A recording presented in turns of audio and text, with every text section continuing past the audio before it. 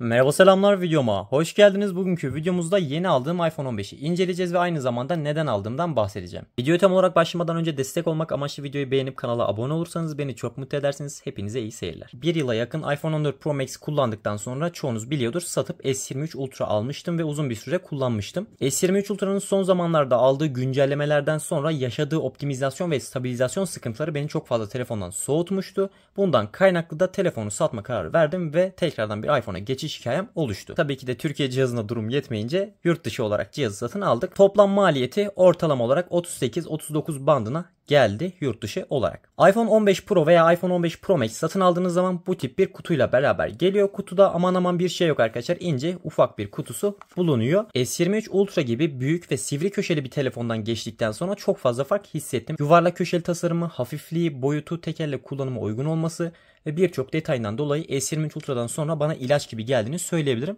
Tabii ki de S23 Ultra'yı hiç kötülemiyorum. Asla da kötüleyemem. Çok sevdiğim bir cihazı severek kullanıyordum. Tabii ki de iPhone 15 Pro'nun rakibi S23 veya S23 Ultra değildir. Yakında Şubat gibi çıkacak olan S24 ailesidir. Normalde iPhone 14 Pro alacaktım. iPhone 14 Pro almamamın sebebi Lightning girişli olması oldu. Yani benim bu telefonu alma sebebim aslında işte aksiyon butonu olsun, kameranın onun bunun iyileştirilmesi değil arkadaşlar veya titanyum kullanılması değil. Benim iPhone 14 Pro yerine iPhone 15 Pro almamın tek sebebi USB Type-C. Çoğu arkadaş için bu saçma gelebilir ancak arkadaşlar bizim gibi içerik üreticileri için Type-C olması çok büyük avantaj sağlıyor. iPhone 14 Pro Max'te Lightning olması benim işimi çok zorlaştırıyordu. Ancak iPhone 15 Pro'da USB Type-C olması işimi çok kolaylaştırıyor. Benim elimdeki cihaz 256 GB dahil depolama alanına sahip ve natural titanyum rengi olarak geçiyor. Tasarımın oldukça hoşuma gittiğini söyleyebilirim. Aslında şöyle söyleyebiliriz arkadaşlar tasarım konusunda birbirimizi kandırmayalım. Bu telefonun iPhone 13 Pro'dan veya iPhone 14 Pro'dan tasarım olarak bence elde tutulabilecek hiçbir farkı yok. Sadece renk değişiyor. Köşeler biraz daha yumuşatılıyor veya çerçeveler inceliyor. Her şeyin konumu aynı. Kameraların büyüklüğü olsun, konumu olsun tamamıyla aynı.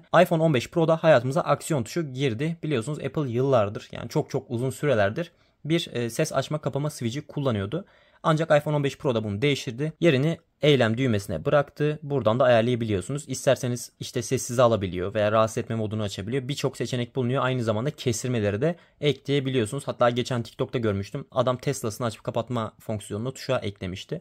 Ya birçok şey yapabiliyorsunuz. Ben kamera kısa kullanıyorum. Çok az bir süre basıyorsunuz. Direkt kamerayı tak diye açıyor arkadaşlar. Çerçevelerin inceltildiği söyleniyor ancak ben çerçeve noktasında çok çok böyle aman aman büyük bir fark hissetmedim. Tabii ki de fark var arkadaşlar ancak böyle çok gündelik kullanıcının hayatını değiştirecek seviyede bir e, çerçeve incelik farkı 14 serisinden bulunmuyor. Hissettiğim en güzel farklardan bir tanesi titanyum kasa olması ve köşelerin biraz daha yumuşatılması. Köşeler yumuşatıldığı için elle tutuş hissiyatı biraz daha güzel olmuş. Elinizi kesmiyor. Daha böyle ergonomik hissettiriyor elinizde. Kılıfsız da kullanırken çok kaliteli hissettiriyor ancak bu telefonu alıp da kılıfsız kullanacak birini ben pek e, sanmıyorum arkadaşlar. Herkes kılıfla kullanır. O yüzden telefonumuzun kasa malzemesinin titanyum olması veya elmas olması bir şey değiştirmiyor. Yani. Bu telefonu alan 100 kişiden belki bir tanesi bu telefonu kılıfsız kullanır.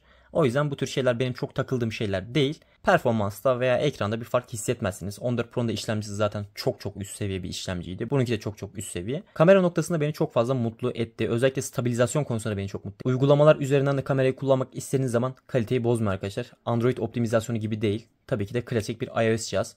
Optimizasyon çok başarılı. Geniş açı kamerası olsun, ana kamerası olsun veya diğer telefoto kameralar olsun çok başarılı çalışıyor. Bu arada ana kamerada yeni özellik geldi. İşte 24 mm, 34 mm falan böyle ayarlayabiliyorsunuz. Sinematik kısmında 4K 30 FPS çekiyor. Keşke bir 60 FPS falan böyle bir destek sunulsaydı. Çok güzel olurdu.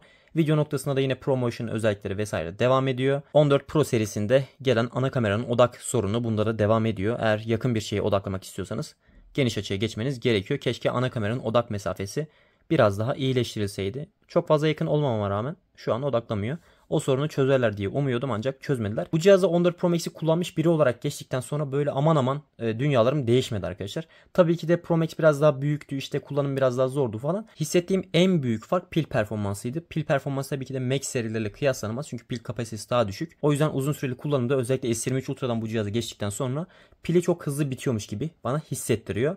Özellikle bir de 14 Pro Max kullanmış biri olarak yine 14 Pro Max'e de kıyasla bataryası daha hızlı bitiyor. Onu da belirteyim arkadaşlar. Kısa bir şekilde sizinle böyle temel bir sohbet etmek istedim. Yakın zamanda S23 ile kıyaslaması gelecek, test videoları gelecek, oyun performans videoları gelecek veya kamera test videoları gelecek. Elimden geldiğince böyle yavaş yavaş sizlere e, iPhone 15 Pro'nun tüm detaylarını tanıtmaya çalışacağım arkadaşlar.